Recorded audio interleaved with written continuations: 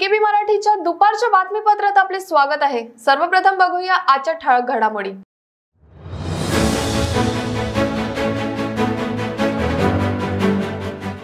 बँकमध्ये पिस्तूल घेऊन गेल्याने माजली अफरातफरी. रामदास पेठ येथील आयसीआयसीआय बँकमधील घटना.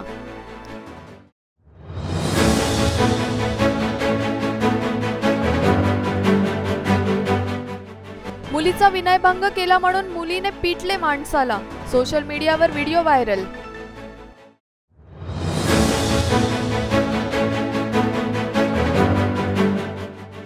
आणि वर्धेतील सौरभ दुबे झळकणार येणाऱ्या आय पी एलमध्ये सनरायझर्स हैदराबादकडून दिसणार खेळताना.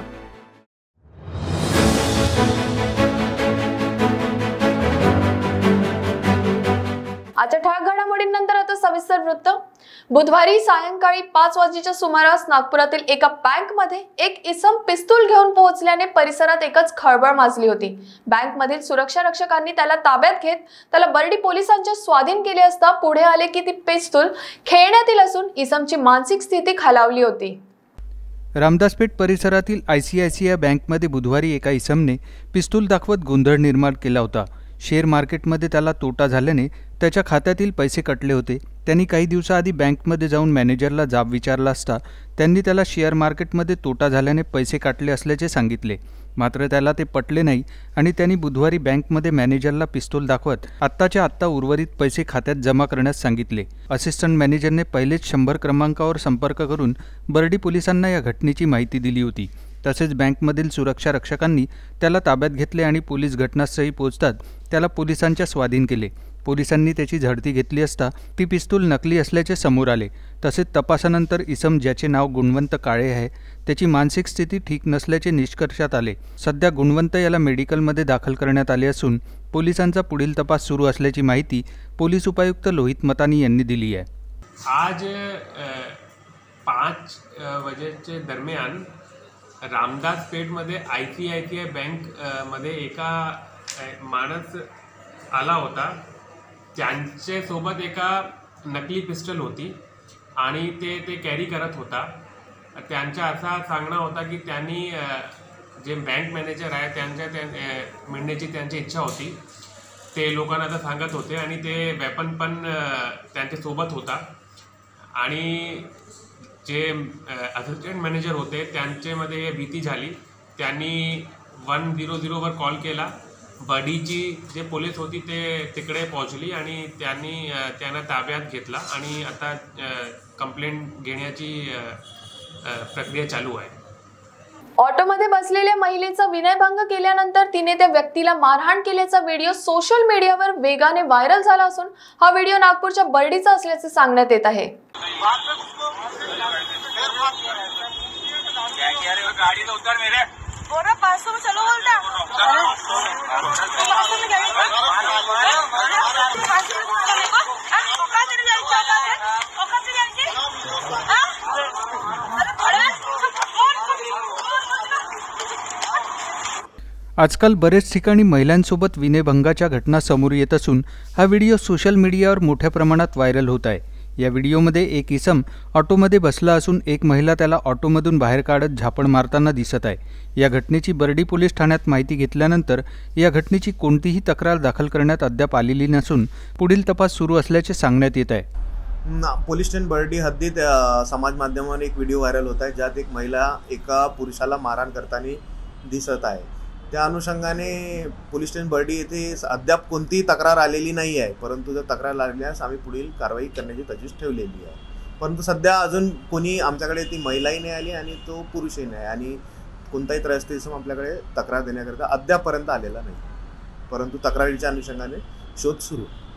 वर्धेतील म्हसाळा येथील सौरभ दुबे याची आय पी एल सीझन दोन हजार बावीसमध्ये निवड झाली असून सनरायझर्स हैदराबाद संघाने सौरभला वीस लाख रुपयात विकत घेतले आहे. वर्धेच्या लेखाने नक्कीच विदर्भाचे नाव रोशन केले असून आता आय पी एलमध्ये त्याची कामगिरी बघण्यासारखी राहणार आहे. सौरभ वर्धेतील एका अत्यंत सामान्य कुटुंबाचा असून त्याने अत्यंत कठीण परिस्थितीत क्रिकेट खेळण्यास सुरुवात केली होती. गेली पाच वर्षे त्याने विदर्भ क्रिकेट असोसिएशन अंतर्गत चालणाऱ्या विदर्भ लेदर बॉल क्रिकेट असोसिएशनशी संबंधित आय पी एल सीझन दोन हजार बावीसमध्ये प्रवेश करून करिअरमधील पहिला टप्पा पार केला आहे. तेरा फेब्रुवारी रोजी झालेल्या लिलावात सनरायझर्स हैदराबाद संघ व्यवस्थापनाने त्याला वीस लाख रुपयांना विकत घेतले आहे. तसेच त्याच्या निवडीची बातमी पसरताच जिल्ह्यातील क्रिकेटप्रेमींनी भरभरून आनंद व्यक्त केला आहे. वर्धासारख्या छोट्या शहरातील खेळाडूची आंतरराष्ट्रीय क्रिकेट स्पर्धेसाठी निवड झाल्याने सौरभचे विविध स्तरावरून अभिनंदन होत असून त्याने वर्धा जिल्ह्याचेच नव्हे तर संपूर्ण विदर्भाचे नावलौकिक केले आहे. सबसे पहले तो मुझे प्रोफेशनल क्रिकेट में जॉईन होने के लिए चार साल मतलब पहले चार साल से ही मैं प्रोफेशनल क्रिकेट में एंटर हुआ हूँ। उससे पहले टेनिस बॉल क्रिकेट खेलता था।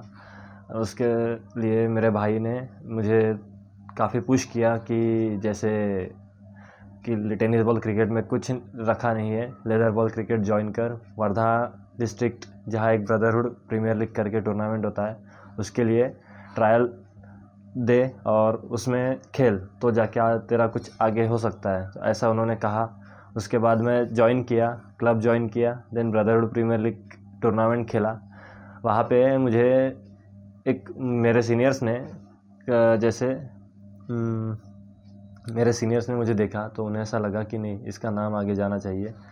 तो उन्होंने श्री रवि लुंगे जो मेरे कोच है वर्धा के उन्होंने देखा उन्हें उन्होंने मेरा नाम आगे रिकमेंड किया। उनकी उन्हीं के बदौलत मुझे जैसे बी के लिए सिलेक्शन हुआ। Then B C Ranji trophy squad के लिए मैं 2017 में सिलेक्ट हुआ। तो वहाँ से फिर कंटिन्यूसली मेरा जैसे एक जर्नी स्टार्ट हुआ प्रोफेशनल क्रिकेटर की। उसके बाद से परफॉ ट्वेंटी थ्री सी आइडल ट्रॉफ़ी उसके बाद जैसे twenty three India bilateral series थी लखनऊ में, बांग्लादेश अगेंस्ट वो और फिर इमर्जिंग एशिया कप के लिए मेरा सिलेक्शन हुआ। तो उसके बाद जब परफॉर्म करते रहा तो कंटिन्यूसली उसके बाद मुझे मुंबई इंडियंस ने as a net bowler call KIA. मैं दो साल से मुंबई इंडियंस के साथ जुड़ा रहा और अभी मैं आईपीएल में सनराइजर्स हैदराबाद से जुड़ चुका हूँ। तो इस तरह से मेरा जो ट्रैवल जर्नी था, वो इस तरह से स्टार्ट हुआ। जैसे आईपीएल सभी को पता है, अगले महीने से स्टार्ट हो, होने वाला है तो जब भी हमें कैंप के लिए बुलाया जाए और जैसे ही हमें कैंप हमारा स्टार्ट होता है तो हमारी सारी ट्रेनिंग शुरू हो जाएगी।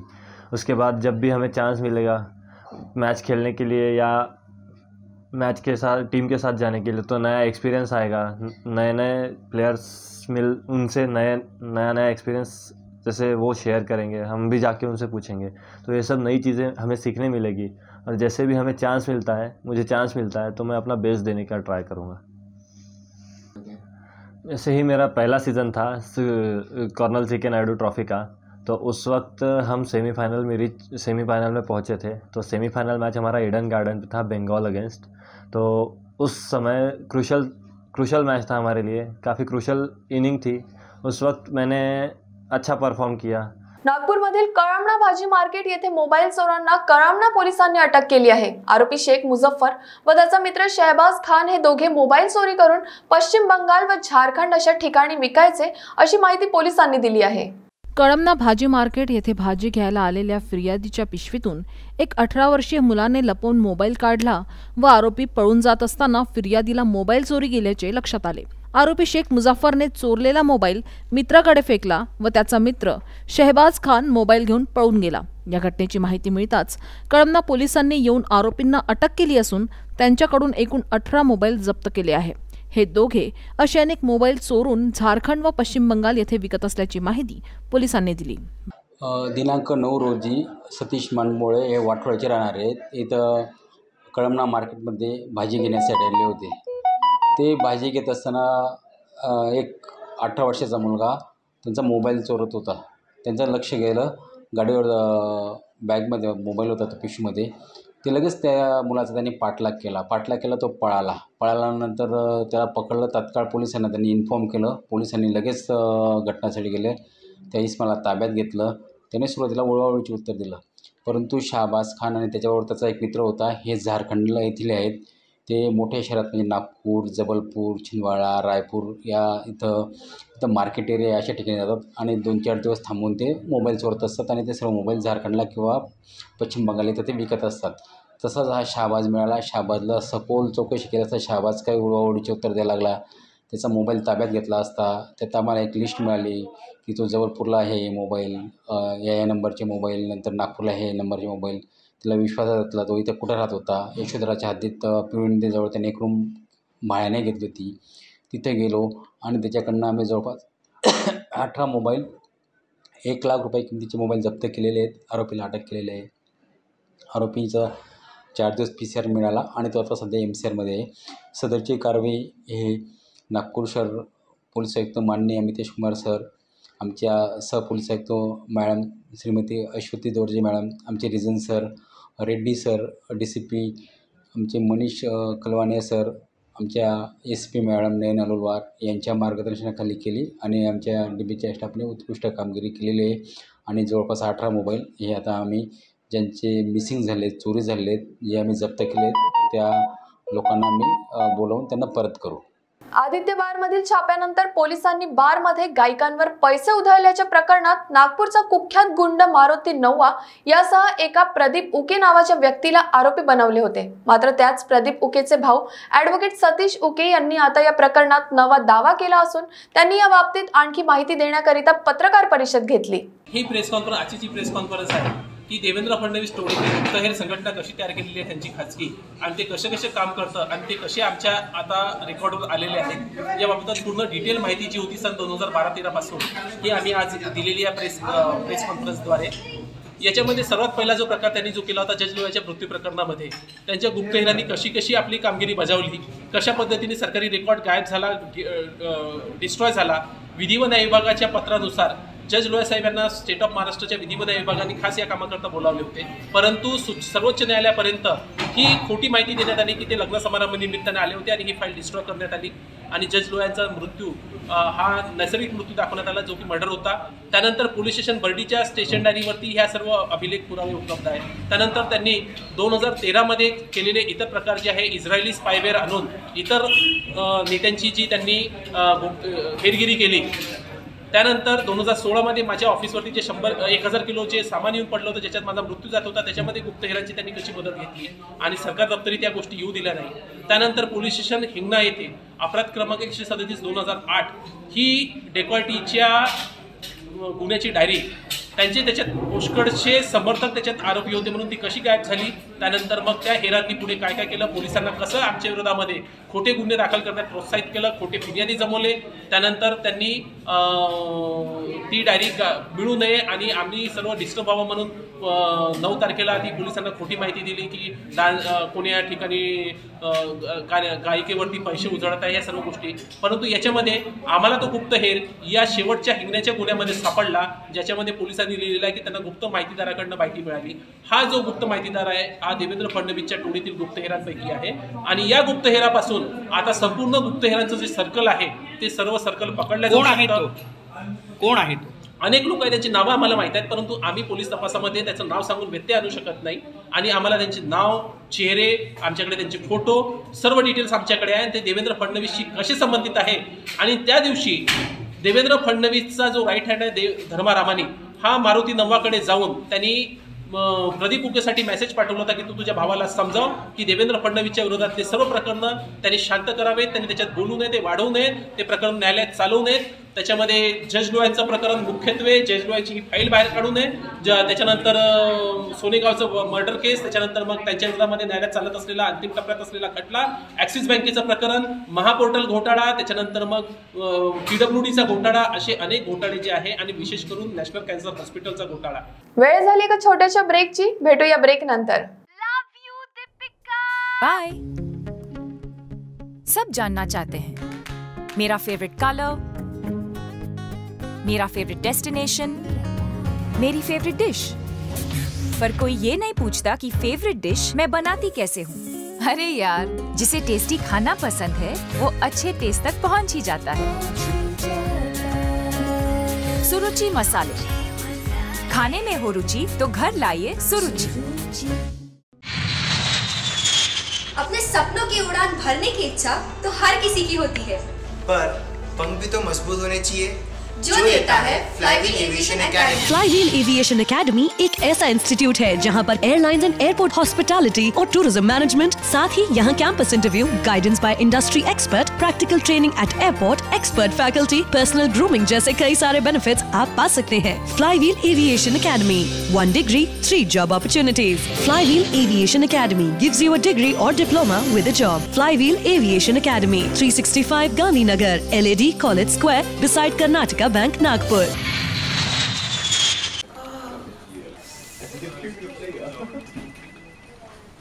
boss ने मीटिंग बुलाई। क्या यार? आदमी की तकलीफ़ को तो समझो।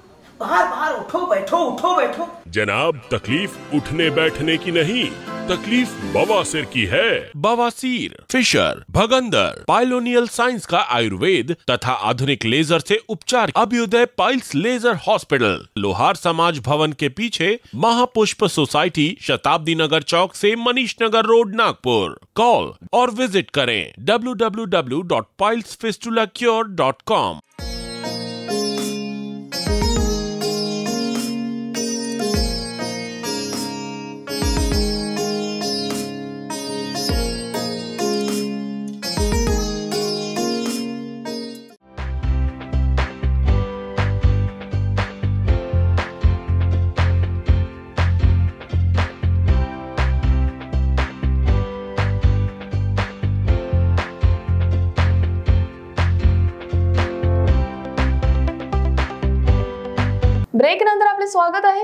यवतमाळच्या पुसद तालुक्यातील आसोली गावात तीव्र पाणी टंचाई निर्माण झाली आहे. जिल्हा परिषद उपाध्यक्ष बाळासाहेब कामारकर यांच्याच गावातील अडीचशे ते तीनशे महिलांनी रास्ता रोको आंदोलन करून संताप व्यक्त केला. पाण्याच्या मागणीसाठी प्रशासनाला निवेदन देण्यात आले होते. तरी देखील त्याची दखल घेण्यात आली नाही. त्यामुळे महिलांनी रस्त्यावर उतरून आंदोलन केले. परिसरातील गावांना पाणी टंचाई निवारणासाठी निधी मिळत असताना आसोलीकडे दुर्लक्ष करण्यात येत असल्याने संताप व्यक्त करण्यात आला.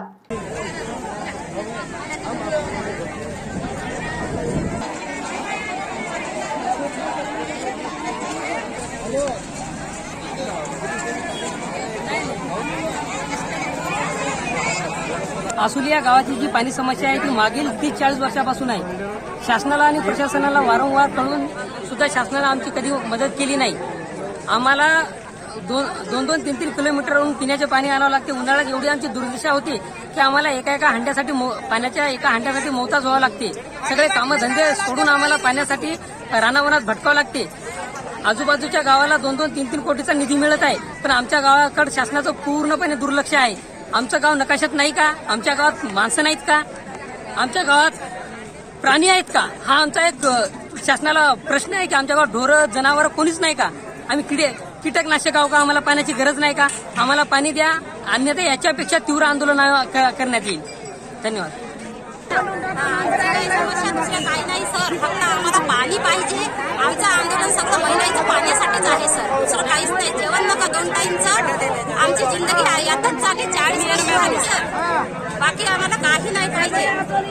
सरपंच सरपंच- सरपंचावर अवलंबून नाही आहे.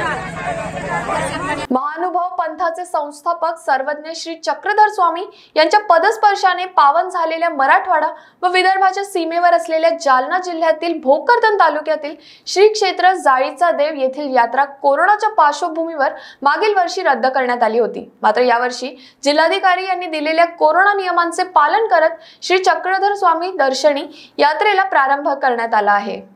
रात्री श्री चक्रधर स्वामींची रथयात्रा व पालखीची मिरवणूक काढण्यात आली असता यावेळी भक्तांची उपस्थिती होती.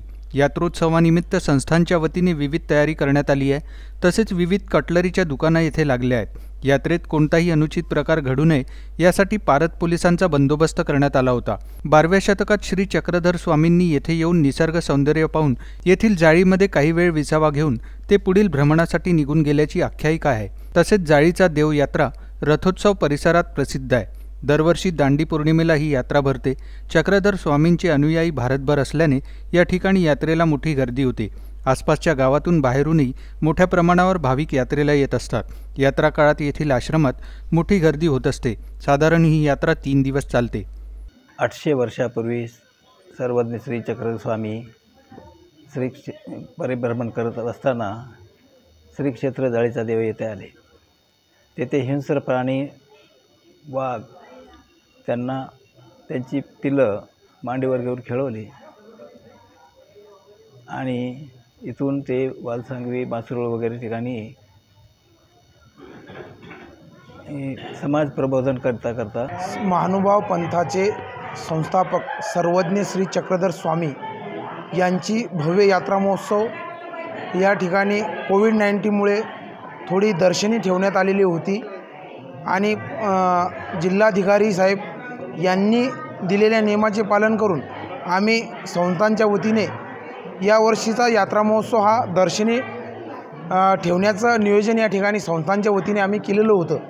आणि आज या ठिकाणी रथ मिरवणूक ही शांततेमध्ये आणि भाविकांच्या मोठ्या उत्साहाने आणि आनंदात या ठिकाणी पार पडलेली आहे. श्री जाळीचे बाबा की जय.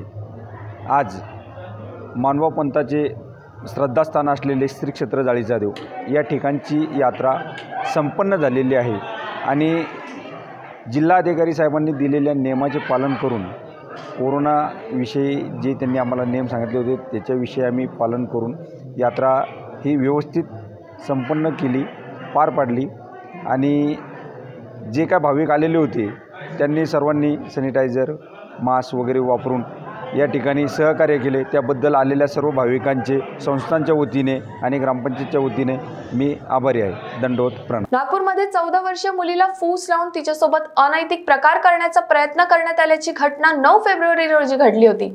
आरोपी शाहरुख शकील शेख याला जरीपटका पोलिसांनी अटक केली असून आरोपीला पाच दिवस पोलीस कोठडी देण्यात आली आहे. पंधरा फेब्रुवारीला चौदा वर्षीय मुलीने तिच्यासोबत गैरप्रकार झाल्याची तक्रार जरीपटका पोलीस ठाण्यात केली होती. आरोपीने मुलीला फोस लावून तिच्याशी जवळीक वाढवली आणि नऊ फेब्रुवारी रोजी नारा रोडजवळ तिच्यासोबत बळजबरीने अनैतिक प्रकार केले. या प्रकरणी जरीपटका पोलिसांनी आरोपी शाहरुख शकील शेख याला अटक केली असून त्याला पाच दिवसांची पोलीस कोठडी देण्यात आली आहे. तसेच पोलिसांचा पुढील तपास सुरू असल्याची माहिती पोलीस निरीक्षक तृप्ती सोनवणे यांनी दिली. बाईट पंधरा तारखेला एका चौदा वर्षीय मुलीने तिच्या आई वडिलांसह येऊन पोलीस स्टेशनला तक्रार दिलेली आहे. आरोपी शाहरुख शकील शेख वय वीस वर्ष. हा यशोधरानगरच्या हद्दीत असलेला आरोपी आहे. या आरोपीने या लहान मुलीला फूस लावून तिच्याशी जवळीक वाढवून तिच्याशी ओळख वाढवून तिच्याबरोबर अनैतिक प्रकार करण्याचा प्रकार केलेला आहे. याबाबत अपराध क्रमांक शहाण्णव अब्लिक बावीस पोलीस स्टेशनला दाखल आहे.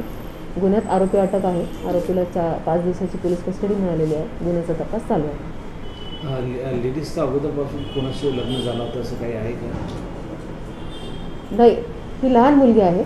चौदा वर्ष वयाची मुलगी आहे. आईवडिलांसह राहते. वडील वाईन शॉपमध्ये काम करतात. सामान्य कुटुंब आहे.